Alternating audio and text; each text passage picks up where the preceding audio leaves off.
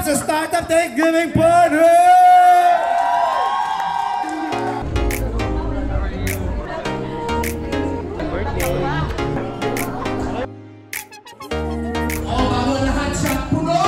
Kasi nung ano, nung premiere night, sabi ko, ang ganda ng show natin.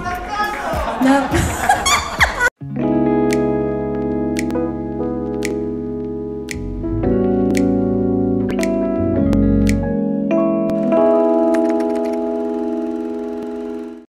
Hello, beautiful people! Welcome back to my channel. So, I'm all ready for the startup cast party happening tonight.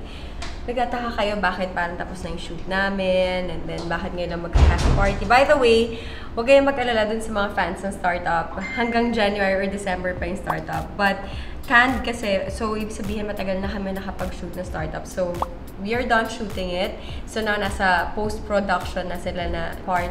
And um, I'm leaving for Spain for a month. And so I've decided to throw a little party with, with Alden.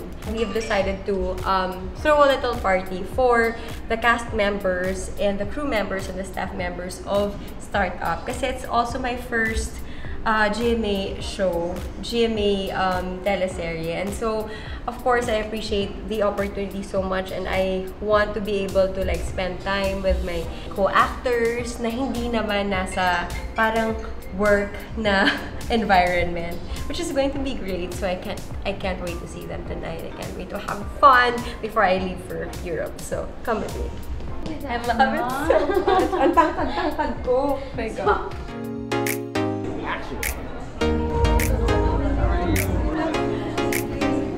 Oh,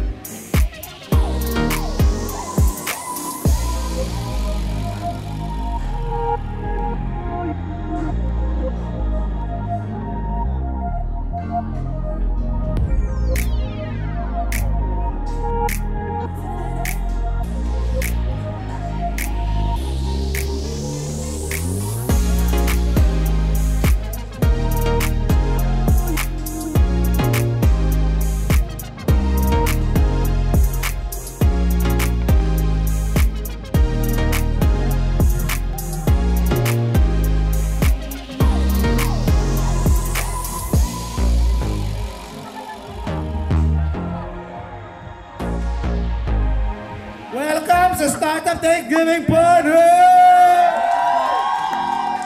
Thank you, Lord, for gathering the finest talents in their field of expertise to contribute in the making of this great project. I pray, Lord, blessings upon blessings for each person present in this room tonight. Thank you sa lahat po ng bumubuo ng Startup PH, no? Adi- I'll share you the message from Korea. Kasi sa akin, nung ginawa natin to, yun yung challenge eh. Di ba napakahirap gumawa ng isang show na merong original. We were pleasantly surprised at how well Philippine version of Startup was produced. It was impressive how GMA Entertainment Group put in efforts to satisfy both the original fans and the local audience. The overall look and feel and the cinematography DOP! of the local version were similar to that of the original. Oh, ang gagaling nyo ha, in fairness. This goes the same with all the cast, especially Alden and Bea added their own charm to the characters. Pagtawanan po natin yung ating mga sarili. So, ready na po ba ang ating mga bloopers?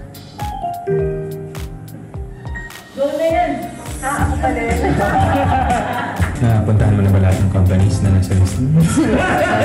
Panis na yung isip ko. Sorry na.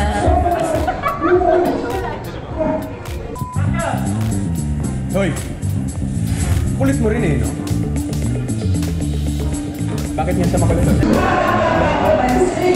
Eh ano naman ngayon? Kung na-correct mo yung, mga mistakes mo. Sorry po ah. Si Owen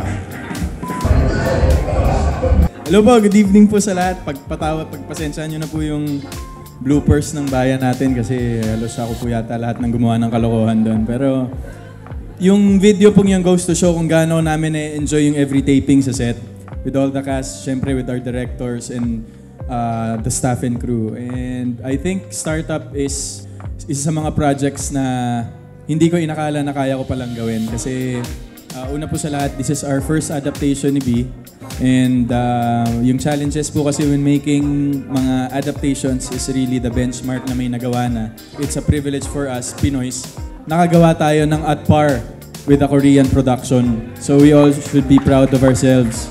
I would like to ta- ta- take this opportunity also to thank everyone, of course, to our directors, our writers, our actors, uh, but especially to Bea, you know, accepting this project with me alongside with all the cast. Parang nakahanap ako ng counterpart ko with D when it comes to this. Hi guys! I'm so happy to be here and I'm so happy to see you all here tonight. Because, as you know, yung startup is very special to me. It's my first show in GMA and there will never be another first for me in GMA. So this is very, very special to me. And I'm so happy and proud that I'm working with the best people. As in, nung ano, nung premiere night, sabi ko, ang ganda ng show natin. Na- alam mo bakit, Direk? Takot na takot ako. Kasi, alam mo yun, kapag ah, nagtatrabaho ka sa isang bagong environment, hindi mo alam, yung lahat ng insecurities mo lumalabas, you feel vulnerable. And I'm happy na tinanggap niyo ako, niyakap niyo ako. So, gusto ko magpasalamat sa inyo para doon. Kasi,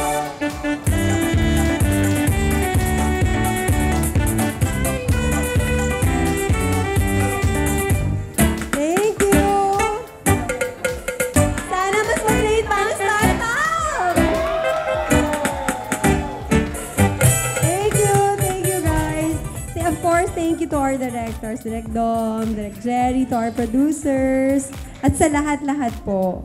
Of course, our writers, our creatives. Maraming maraming salamat for making such a beautiful show. Thank you so much.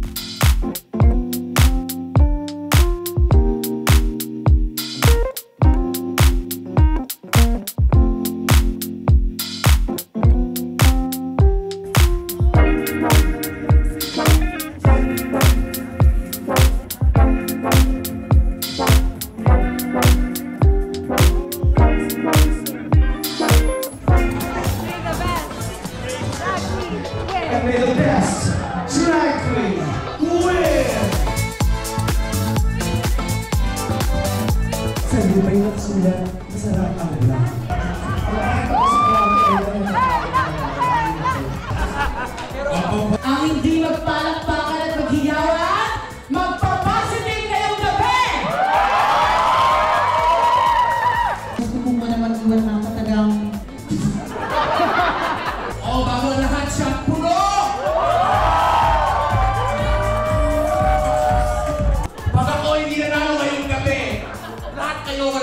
ang bahay! I love my family. At pag bless ka ni God, i-bless din yung mga tao nakapaligid sa'yo. Hindi ko kayo makilala.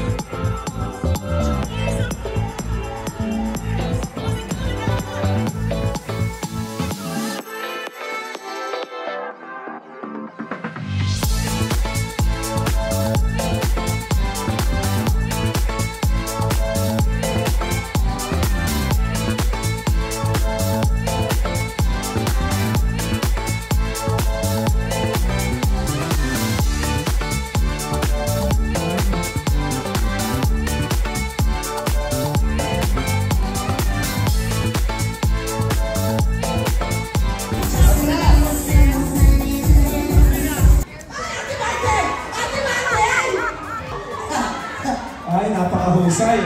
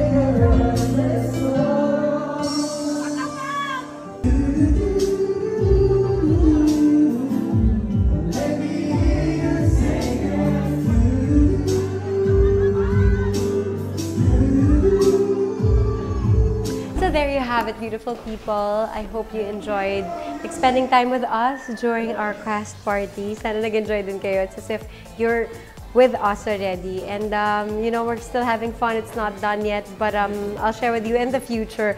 And you can also check my stories or Instagram about it. Anyways, don't forget to like and subscribe and don't forget to find beautiful. Lasing na.